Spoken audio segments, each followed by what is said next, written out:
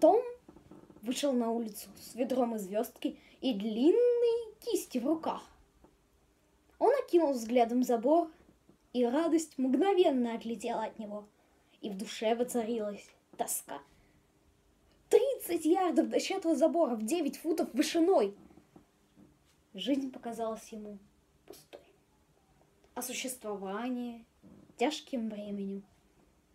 Со вздохом он окунул кисть в ведро, провел ее по верхней доске забора, повторил эту операцию, проделал ее снова и посмотрел.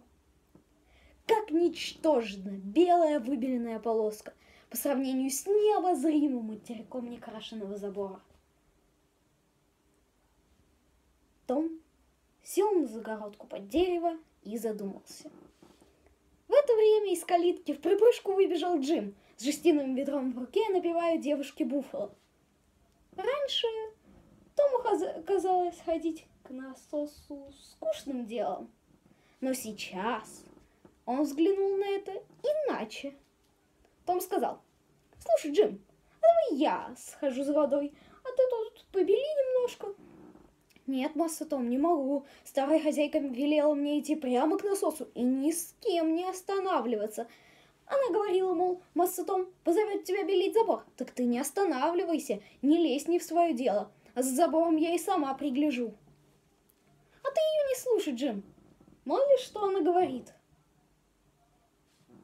Давай сюда ведро, я мигом сбегаю. Не могу, масса Том. Старая хозяйка мне голову оторвет. Ей-богу, оторвет. Она-то, да она никогда и не дерется. Разве что стукнет наперстком по голове, и все.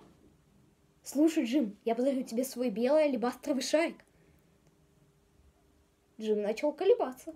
Белый алебастровый, Джим, это тебе не пустяки. Ой, как здорово блестит. А все равно я не могу ослушаться старой миссис. А еще, если хочешь, я покажу тебе свой больной палец. Джим был всего-навсего человек. Такой соблазн оказался ему не по силам. Он поставил ведро на землю, взял шарик и весь охваченным любопытством наблюдал, как Том разбинтовывает палец, а через минуту уже бежал по улице, громыхая ведром и почесывая спину. Том усердно белил забор, а тетя Полли удалялась с поля боя с туфлей в руке и торжеством во взоре.